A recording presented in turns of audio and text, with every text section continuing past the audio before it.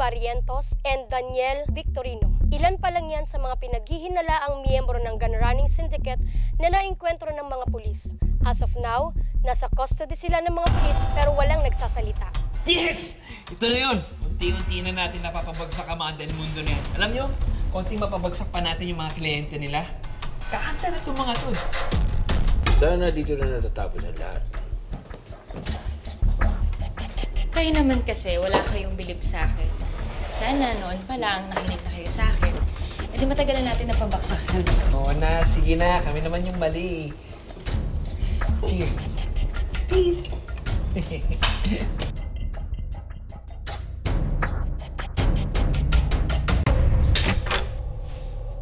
Hello!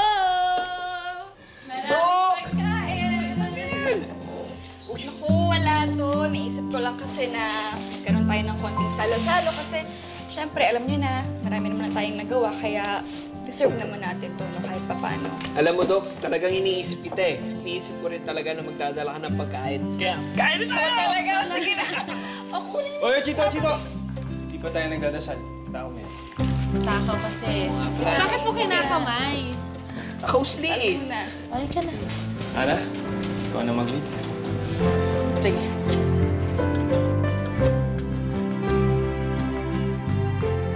Panginoon, maraming maraming salamat po sa paggabay at pagprotekta ninyo sa aming lahat. Ginagawa ho namin lahat ng to para sa mga taong nasaktan, inabi ng mga taong gahaman sa kapangyarihan. Pero alam ho namin na hindi namin magagawa to na kundi dahil sa inyo. Kaya maraming maraming salamat po sa lahat-lahat. Amen. Amen.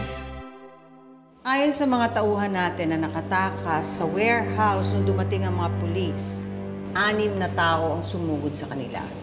Nagmamatch ang build ni Manuel sa mga ito. So, malinaw talaga na kasama ni Manuel si Celeste.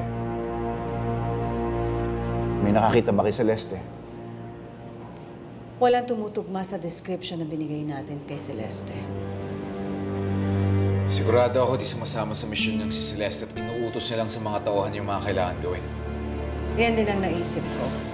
Pero ang sabi ng leader ng tauhan natin, meron daw isang babae na nagmamando sa buong team.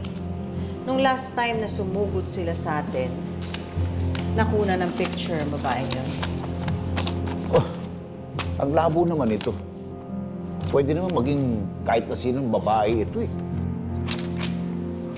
Meron na bang nakahanap kay Manuel? Kamusta yung paghahanap sa kanya? Sinusuyod na ng mga tauhan natin kung saan siya pwede magtago. Eh bakit naman ang bagal ninyong kumilos? Salvador, we're doing our best. Paninong kung papaubayan sa akin yung paghahanap sa lalaking to, hahanapin ko siya para sa inyo. Wag na. Napatunayan mo na hindi mo kayang gawin itong mga ganitong bagay. Okay? Pero Ay, kanina- mag- walang pero-pero. Makinig ka sa akin. Mag-focus ka lang sa pangangampanya mo. Naintindihan mo ako, Gael. Mag-focus ka sa pangangampanya mo. September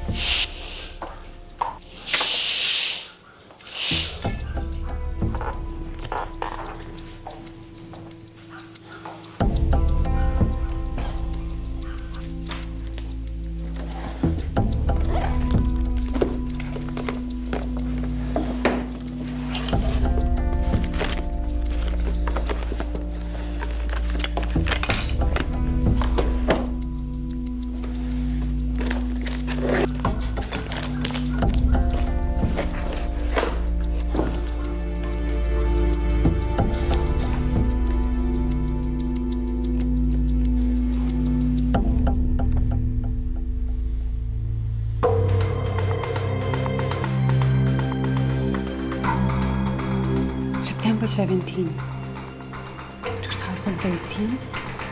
Salvador, please. Baka naman pwede ka namin makasama ni Sam. Bukas na siya aalis. Para naman bata yung anak mo.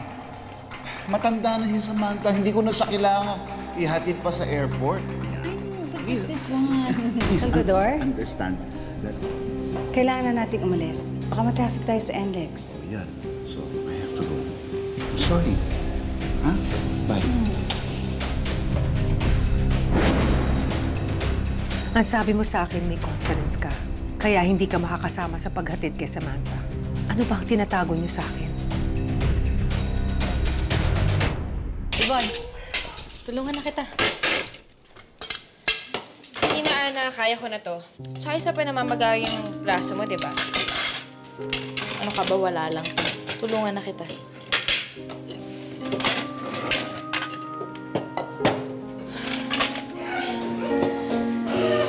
Nakakatawa talaga.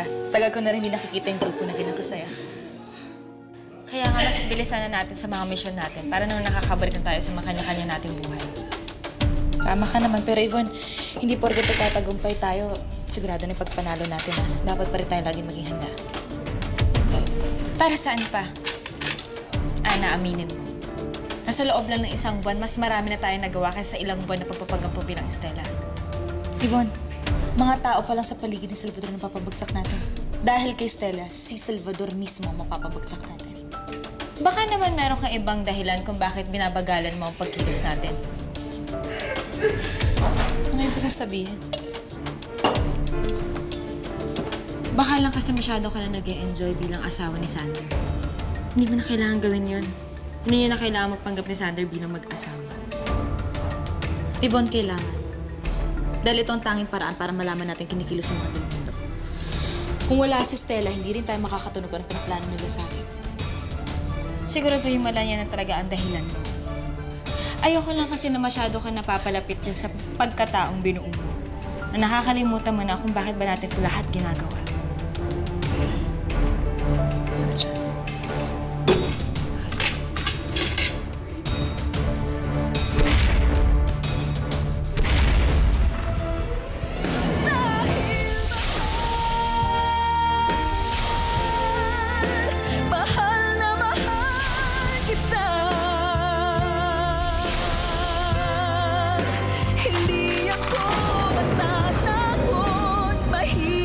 Kapag na-miss mo, pwedeng balikan.